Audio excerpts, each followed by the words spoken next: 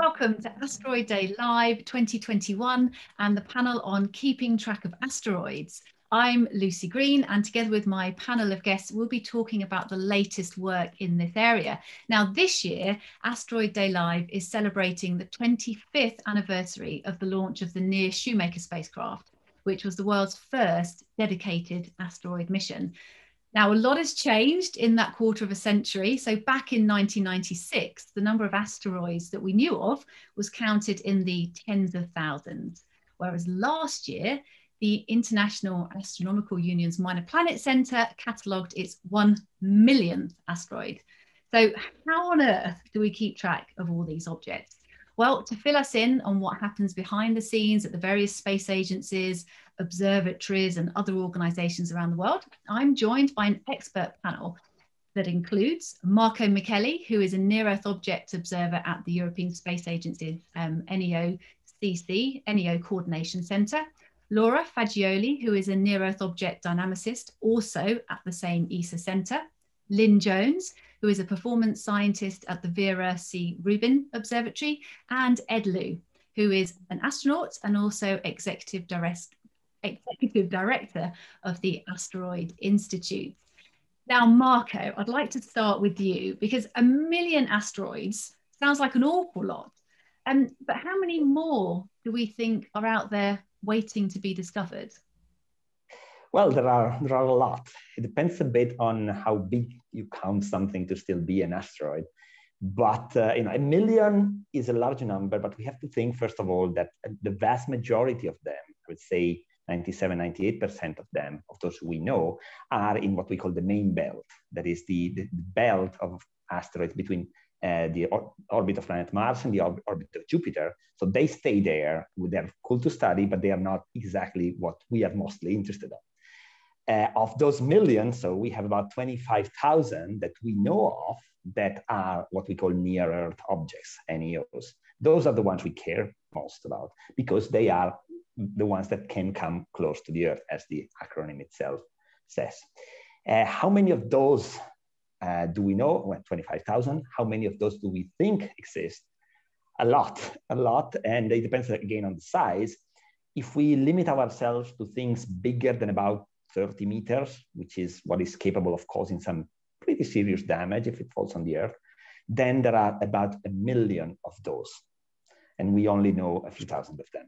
So there's still a lot to discover. Uh, of course, not all of them come close enough to actually pose a threat on the short term. But before we can actually evaluate if a specific object comes close enough to be a threat, we have to discover them. And that's why uh, the projects like the ones we're working in exist to keep track of them, discover them, and monitor them. So I'd like to ask a bit more about then. So what kind of um, dedicated observatories or, or, survey telescopes are being used to identify and track these objects? Yes, there, there are basically two types of telescopes. The first one is what you mentioned, is the survey telescopes, and they are telescopes dedicated to discover an asteroid or, or astronomical objects in general.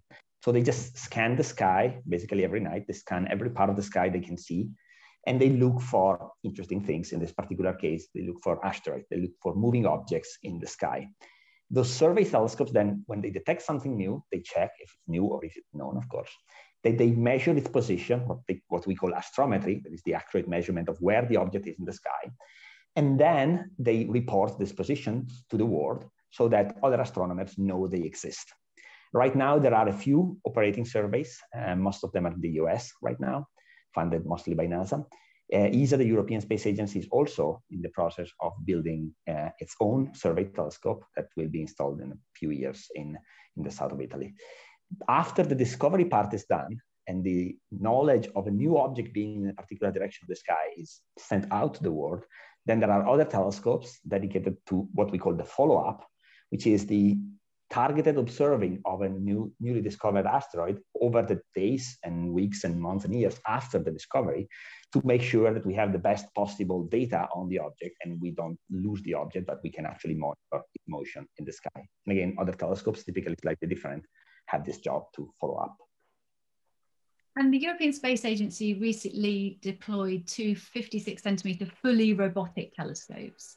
Um, as part of its space safety program. How did these robotic telescopes feed into the overall um, uh, work that's being done? Yeah, uh, as I briefly mentioned, ESA is in the process of building a survey telescope called the FlyEye, which will be a pretty large one meter telescope dedicated to discovering incoming objects, objects that are just about to come close to the Earth and possibly hit us. And in preparation for this, of course, there is a lot of technological development, including you know, software and hardware and different things that have to be prepared. So ESA also built two smaller telescopes, 56 centimeters each, called the testbed telescopes.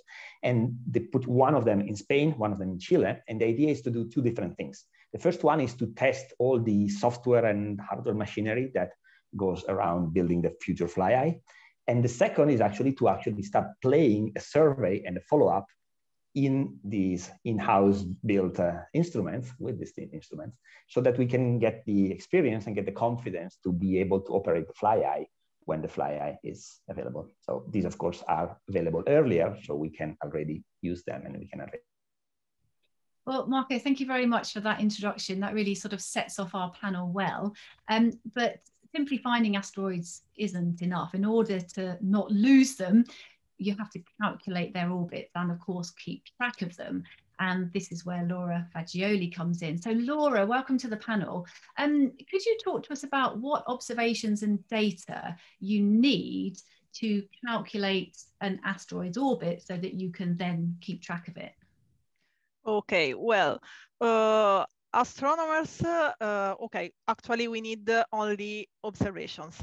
And uh, astronomers send object observation, that means uh, object position at certain times to the minor planet center, which is uh, the, the center in charge to uh, collect and disseminate those astrometric observation. And what do what do we do with this uh, observation? Okay, um, well, we try to fit uh, an orbit. That means we try to fit to find an orbit which is compatible with observation we received from uh, astronomers. Uh, of course, uh, orbits we compute uh, are not precise. That means there is always an uncertainty associated to, to, to them. But every time astronomers produce new observations for uh, the same object, we have to recompute the orbit. And thanks to this uh, new data, the uncertainty decreases that uh, the orbit knowledge in improves. therefore, more observation we have, and arc uh, in which uh, we collect them uh, is long. Um, so astronomer observe the object at different times for a long time span, more accurate will be the orbit. So it is the orbit determination process is an iterative process. Right. So it's not just a case of making some observations and then you've got all the information you need. No, exactly. So I'm wondering how quick is that process then? Do you need to get observations over days or weeks or months or even years to be able to get an orbital determination that is sort of sufficient? Okay, uh, the first time uh, we just need uh, three observations. So we can have uh, observations from the same night. But as uh, I said before, if we have more observation in uh, a different time, so in a time span of days, weeks, uh, years, uh, is better because uh, in that way we can better know the uh, the orbit. So we can better know where is uh, the object when we are interested into the, the, the, this object. And then if you find an asteroid that is um, on an orbit that's going to bring it close to Earth, what, what happens then?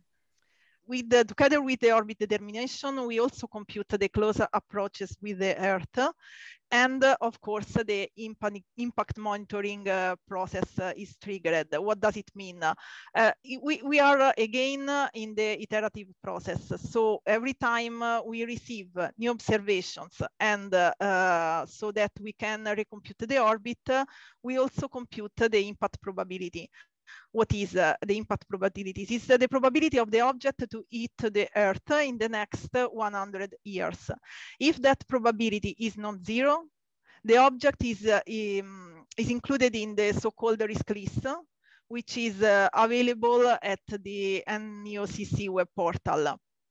Uh, of course, uh, it is fundamental to, to follow up uh, the more important objects included uh, in this risk list, typically to lowering the, their impact probabilities or better to rule out them from the, from the risk list.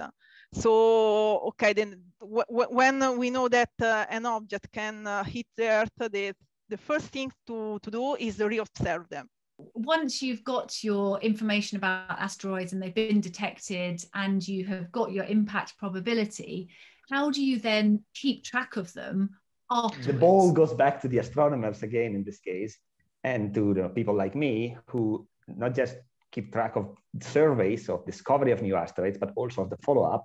So the, the system that people like Laura operate they provide us uh, not just with the impact probabilities, as she said, but also with what we call an ephemeris, that is a position in the sky where the asteroid is.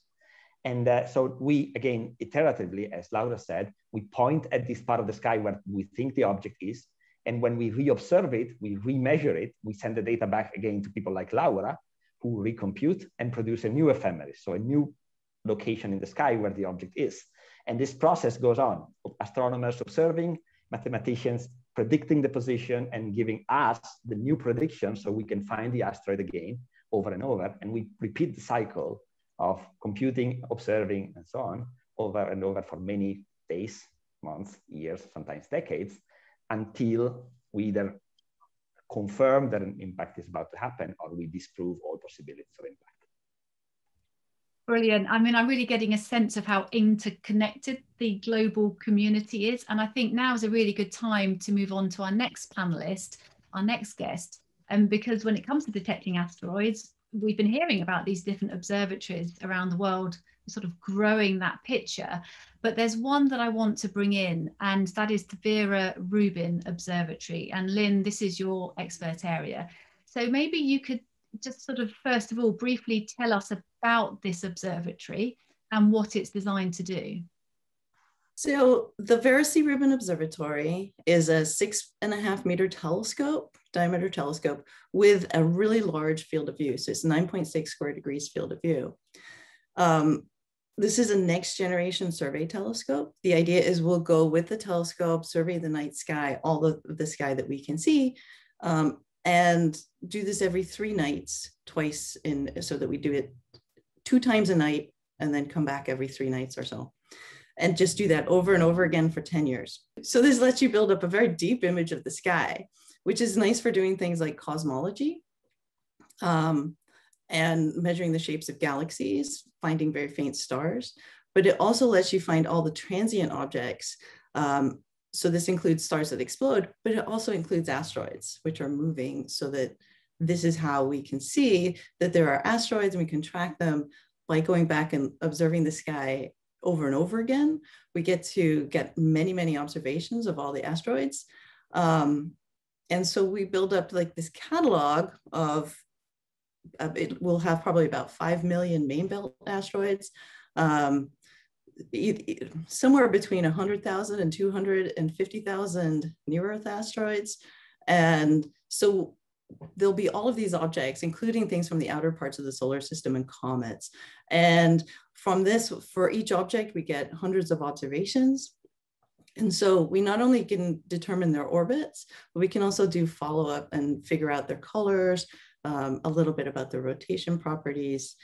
And, and so it's a really, really nice data set that's really interesting to hear because I I didn't really prior to this conversation associate the Vera C. Rubin Observatory with even solar system objects. So you're you I think you said you're aiming to or you think five million asteroids might be discovered in this in this data set and you'll be doing the science as well as providing information on the orbital um, um, movements as well. So do you think this data set will has the potential to really be transformative in the area of um, asteroid research and asteroid tracking?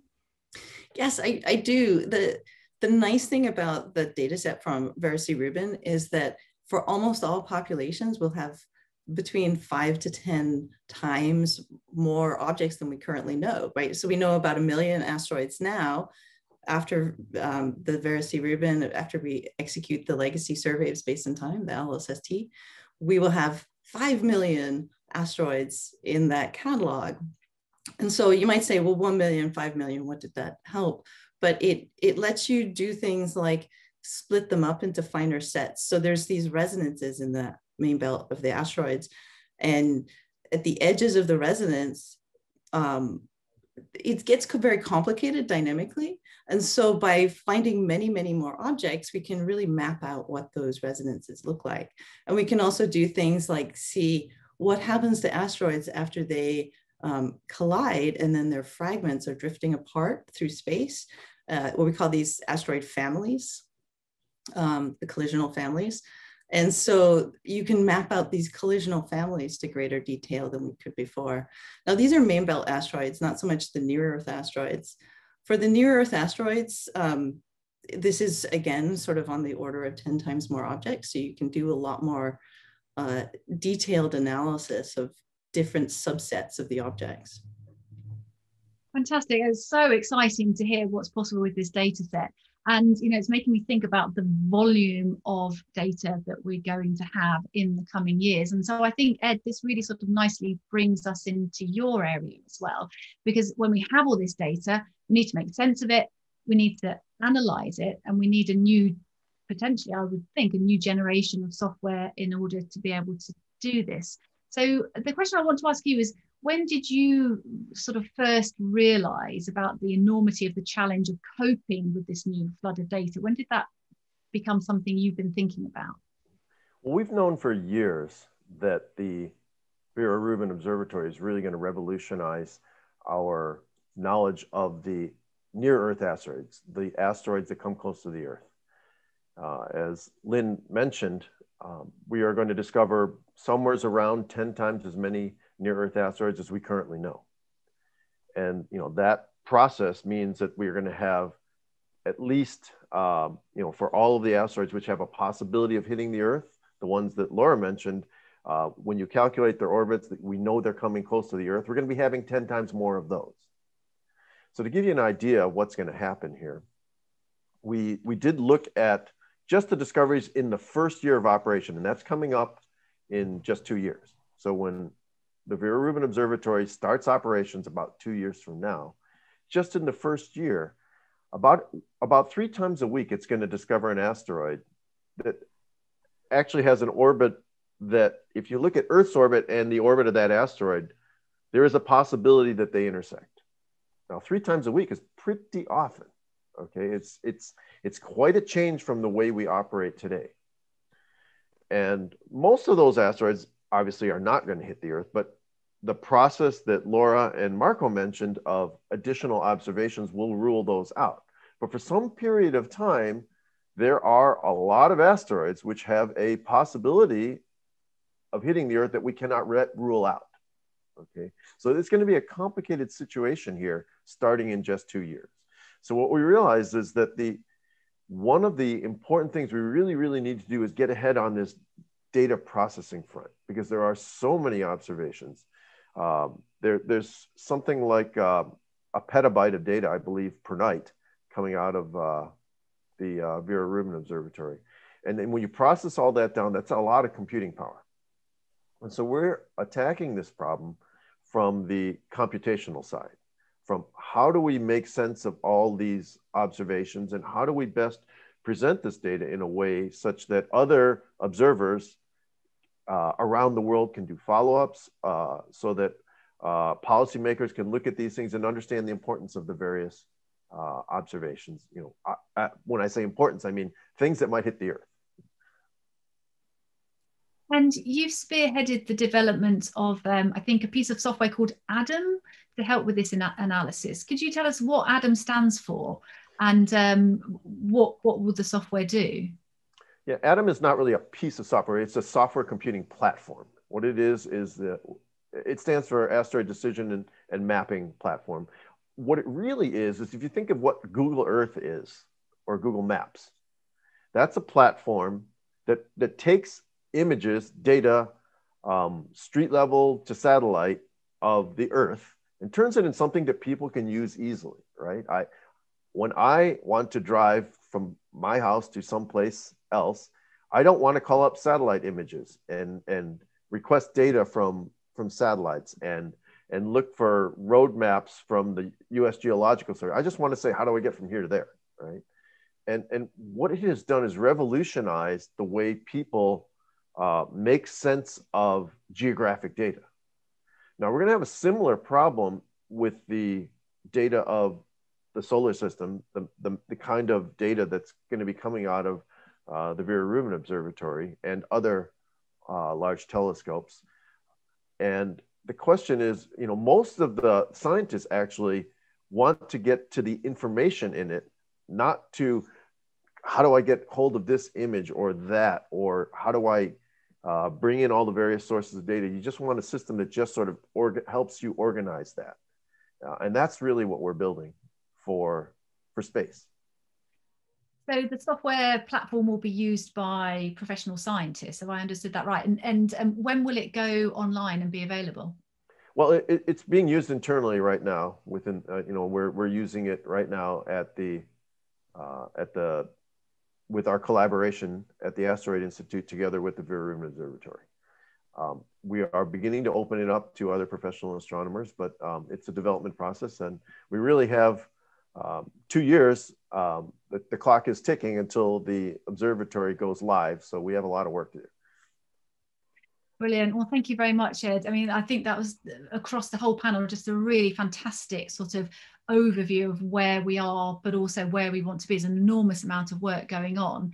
Um, and it seems really that you know asteroid detection and tracking is is almost sort of moving on to being an industrial scale endeavor so both exciting but also slightly daunting as well with this three asteroids per week that could be um, near earth objects so thank you again to my panel absolutely fascinating to hear your thoughts and uh, thank you so much for your time as well now, stay tuned to Asteroid Day Live. We've got a lot more coming up, including how we're getting to know the asteroids better than ever, how we're going to try and deflect an asteroid as a test, and what promise the asteroids may hold for our future exploration of the solar system. So don't go anywhere. And happy Asteroid Day.